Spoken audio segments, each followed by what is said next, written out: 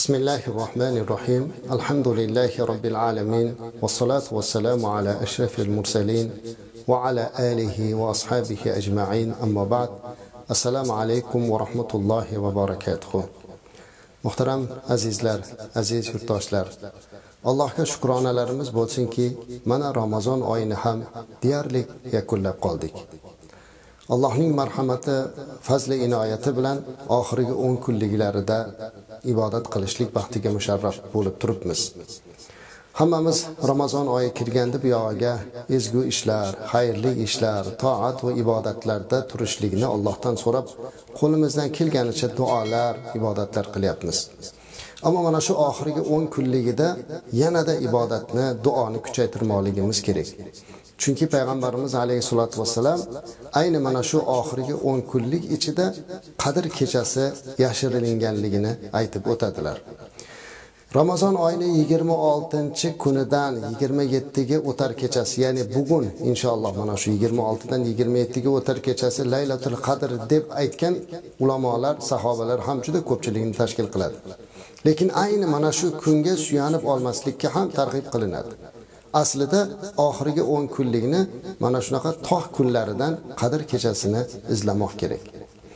Nima uchun Qadr kechasiga bunchalik ahamiyat berildi azizlar?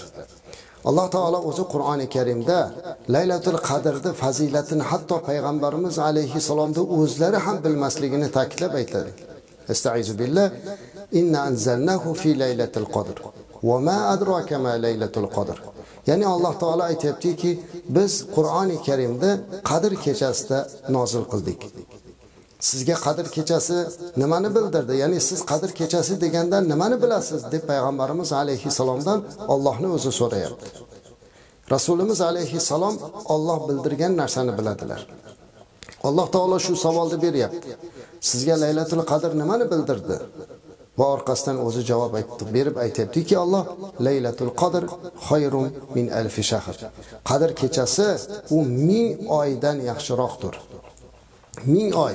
Bu deyarli 83 yildan ko'p 84 yil degan. Ya'ni kim mana shu kuni bitta duo qilib qo'ysa 83 yildan ko'p vaqt ya'ni 84 yil duo qilganda savobini oladi. Kim ko'zidan bir tomchi yosh chiqarsa 84 yil Alloh uchun yig'lagan bo'ladi ikki rakat namoz o'qisa mana shuncha savob oladi va yana bu kunda fazilati tanazzalul malaikati va ruh u kuni osmondan butun farishtalar va Jabroil alayhissalom yerga tushadilar. Hammalari Allohning buyrug'i bilan yerga tushadi. Tanazzalul malaikati va ruh fiha bi izni robbihim min kulli amr. Ya'ni o'sha kunda farishtalar va Jabroil alayhissalom boshchiligida yer yuziga tushadi.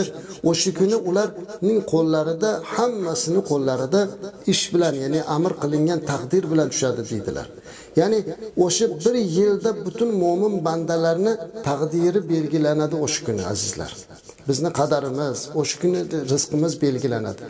Ya'ni Alloh haq azza va jalla farishtalarda buyurgan ishi bilan yer yuziga tushib keladi.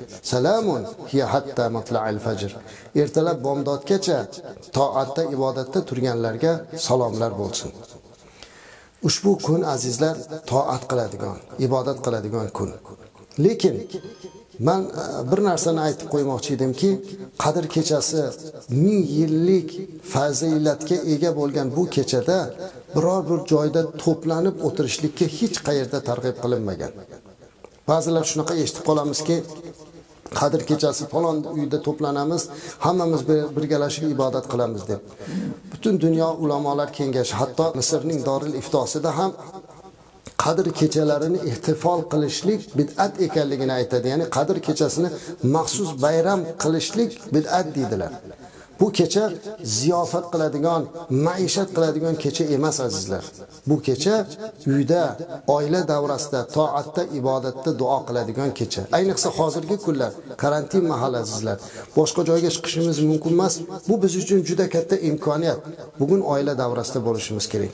Xususan tafakkur qilib aytishimiz kerakki, tanazzalul malaikati va ruh deyapti. Ya'ni yer yuziga butun farishtalar tushar ekan. Bugun sizni xonadoningizga ham Allohning farishtalari tushadi.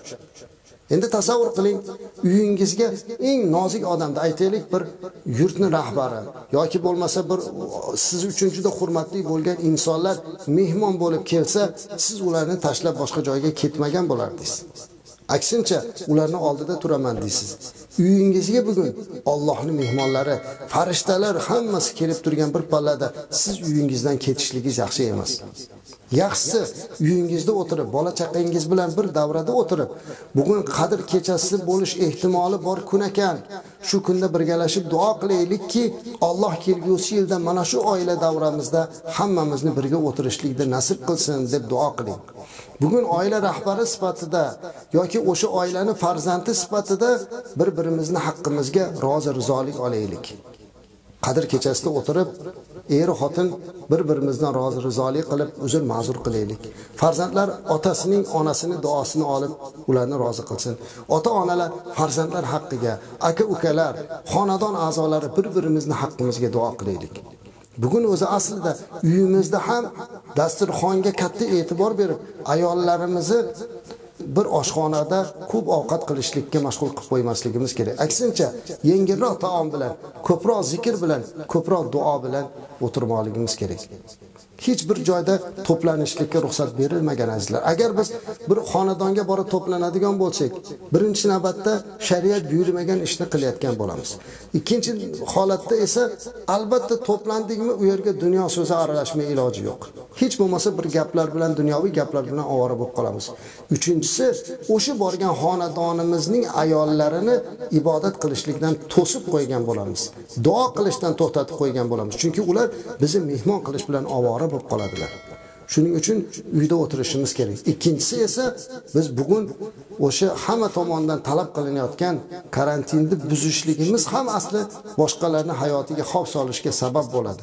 Bundan ham o'zimizni olib qochib, keling azizlar, qadr kechalari mana shu oxirgi 10 kunlikka yashirilgan ekan. Ayni bugun emas. Bugun deb ittikol qilib bo'lmaydi. Ya'ni bugun deb suyanib bo'lmaydi. Har kuni izlashimiz kerak, lekin ko'p kitoblarimizda 26 dan 27 yettiga o'tar kechasi ta'kidlanganligi uchun bugun juda ham katta ahamiyat beriladi ko'pchilik musulmonlar tomonidan. Shunday bo'lsa-da, uyimizda, oilamizni davrasida ota-onamizning duosini olish imkoniyatida duo qilaylik. Uyingizga shuncha farishtalar kelib turgan bir paytda uyingizda ular bilan birga duo qilishlikni Alloh nasib qilsin.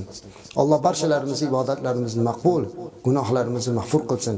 Rasulimiz alayhisolatu vasallam man qoma fi laylatil qadr imanan va ihtisaban g'ufira lahu ma taqaddama min dambihi dedilar.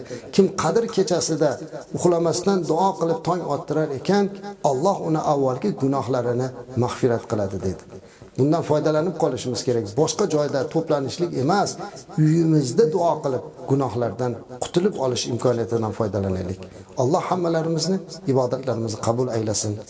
Qadr kechalarini topgan mo'minlardan qilsin. Assalomu alaykum va rahmatullohi va barakatuh.